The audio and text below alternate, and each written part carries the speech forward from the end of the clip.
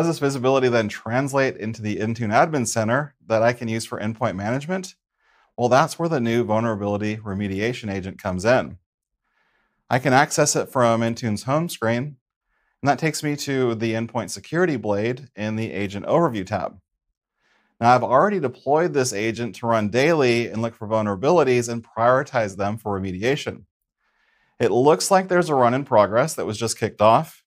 Now, the agent run takes a few minutes to process all the vulnerabilities and also find matching impacted devices. Once the run is complete, I can see its suggestions. And you'll see that the top suggestion matches what we saw earlier in Microsoft Defender. So I'll review it for additional details about its evaluation.